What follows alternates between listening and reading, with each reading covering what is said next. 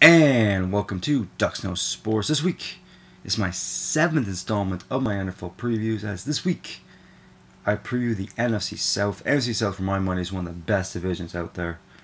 I mean, a lot of teams go from the bottom to the top. A lot of teams go from the top to the bottom.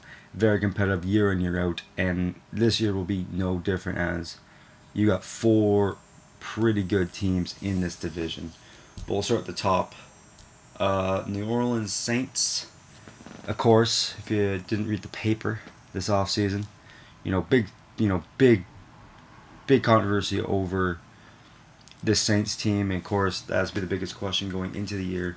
Can they rebound from Bounty Gate? You know, of course, you don't know what Bounty Gate was. Um, um, basically, former defensive coordinator basically gave players more money on the table to take out QBs in the run to Super Bowl 2009. Guys like Kurt Warner, Brett Favre, and even Peyton Manning just, you know, get more money just to take, break players' legs. Really disgusting story. Really, you know, really, really hurt me in a way. Just being a football fan, you know, you know, it's a, it's already a violent game, but nobody should be trying out there purposely trying to break a guy's leg or break a guy's arm or even end his career. I mean, you know, maybe it's just me, but I just thought it was a disgusting story, and I really hope this is the end of bounties.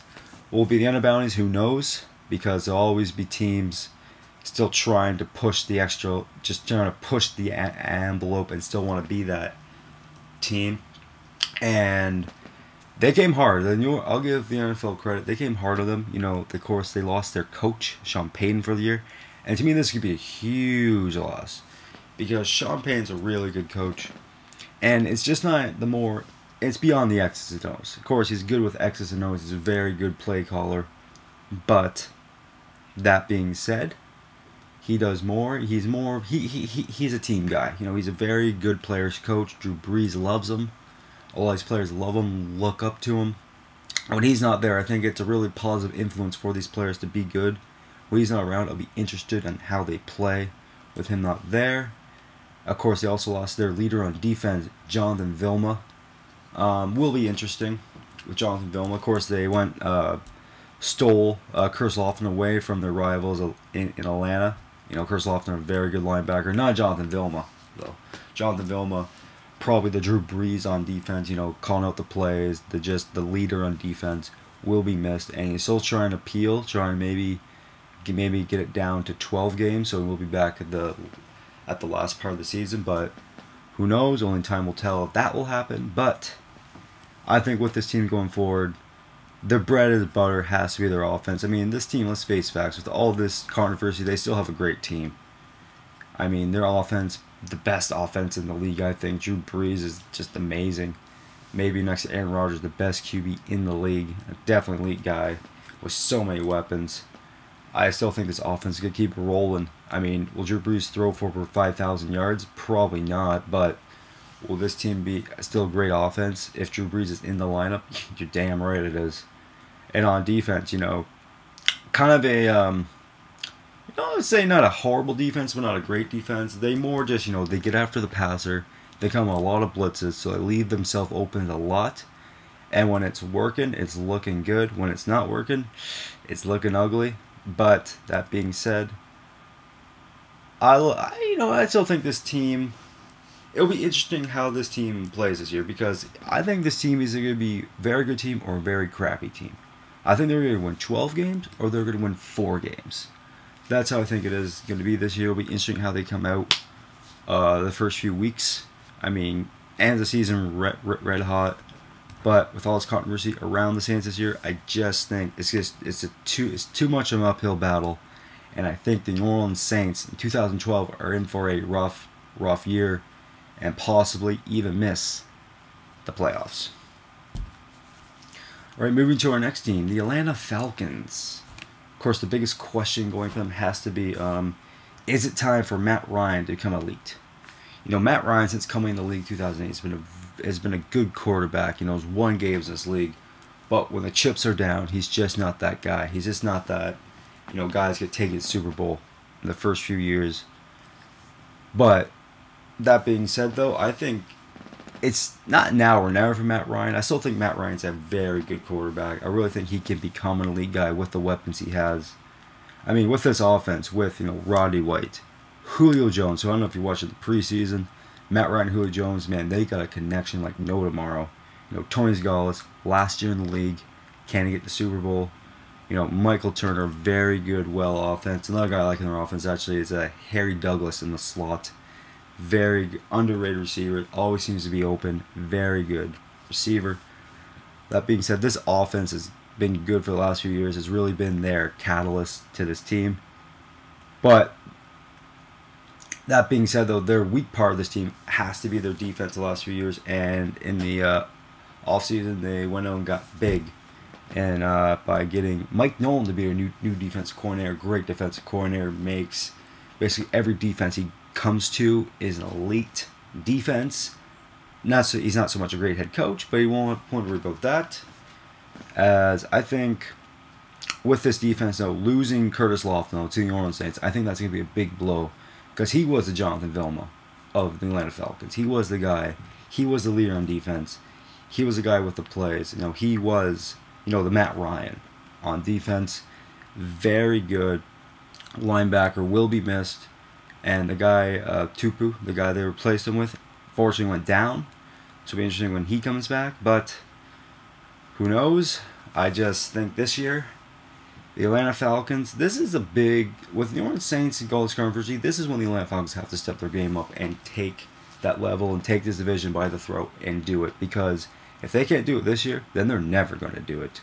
Because I think with this team, with the offense running the way it can be, with Julio to Roddy White, you know, Michael Turner, Matt Ryan, all these great weapons, they have a great offense. They're going to put up points. It should be an elite offense in the league to their defense, which with a Mike Nolan, who is going to make that defense better. And I truly believe this defense is this defense isn't the best defense league, yes. But are they a good to all right defense? Yes. They're not as bad as people give them credit to, but this defense, when they all play together, they are one good unit. And I really like this team going this year. I really think Atlanta's got a lot of things working in their favor this year, from their offense to an improving defense. And I really believe the Atlanta Falcons are a dark horse to make the Super Bowl, and I love the Atlanta Falcons this year. Moving to our next team, the Carolina Panthers. Of course, the big question has to be can they have another good year under Cam Newton? Of course, last year Cam Newton came in and just let lit the world on fire and had a great year. I really liked what I saw Cam Newton last year.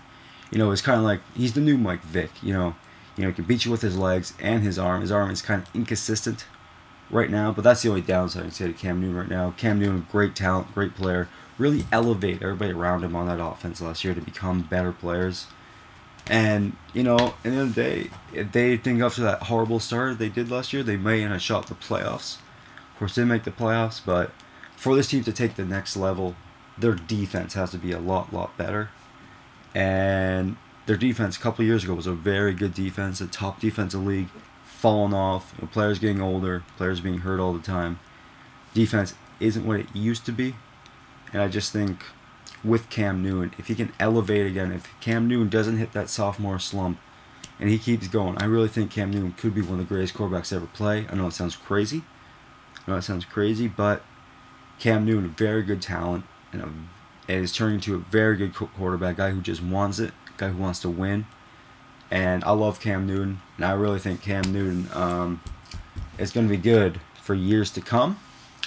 And I really, you know, this could be an interesting team this year in Carolina because they could be a sleeper team to, to win this division.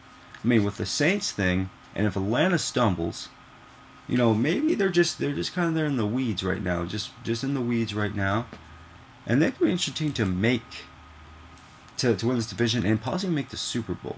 I know it sounds crazy, but craziest things have happened in the NFL.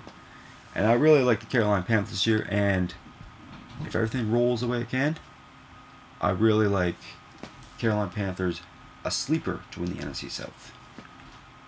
And our last team, the Tampa Bay Buccaneers, one of the most disappointing teams last year for my money.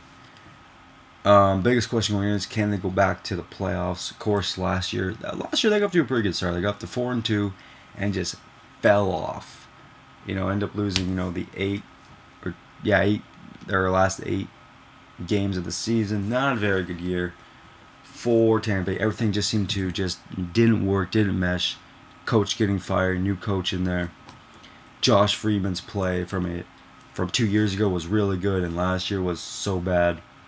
And I think that's another question going this year. Can Josh Freeman was was that just a fluke what we saw in 2010, or is that who Josh Freeman was the we saw last year? So that has to be another big question. If Josh Freeman can get back to being a great NFL player, a great quarterback, I really think Tampa Bay can get back to the playoffs because this division, like we said, for all these teams, have a real shot at winning this division. And Josh Freeman is, to me, I didn't like Josh Freeman coming in, in into his career. Didn't like him in college. I thought 2010 was kind of a fluke, so I wasn't that shocked at how he played last year. But you know, this is a guy who just loves loves to play the game, wants to be better. They went out and got him a weapon in Vincent Jackson in the offseason. Not a huge fan of Jackson. I think he checks out of a lot of games. Didn't really like the sign. Thought they gave him way too much money. Check, like I said, checks out of games. Not a team guy. Will be a headache, and I think this could implode with these two guys because, you know, this team, you know, last year, everybody was on Tampa Bay. They loved the way they were going. They just imploded last year. I think we saw they weren't as good as they as we thought they were in 2010. You know, this defense, which should be in you know, early 2000, was an elite defense with Warren Sapp and Brooks. You know, that's gone now. Now they're an all right defense to a bad defense, and I just going in 2012, I don't like Tampa Bay at all. I think you know, a lot of people maybe think Tampa Bay could be a surprise team. I don't personally see it. And I think Tampa Bay is in for a rough year in 2012. And I think for another year, I think they're going to miss the playoffs. And I think maybe, just maybe, come draft, you may be drafting another quarterback because I don't think Josh Freeman is that guy. All right, so that's it for my preview of the NFC South. Now we get down to the good stuff. Who do I pick to win the division? I got to go with I want to say Carolina, but I gotta say the Atlanta Falcons win the NFC South. I love this team. This their time is indeed now, and I really love the Atlanta Falcons. And they are a, mark my words, they are, they are a dark horse to win the Super Bowl this year. Well, that's it for the NFC South. My next preview, my last preview, my last division preview, is on the NFC West. You know, the NFC South a pretty pretty competitive division. The NFC West not so competitive. So that's till next time. But till next time, I'm Eric Duxbury saying I'm Dux, and I know sports. Kinda.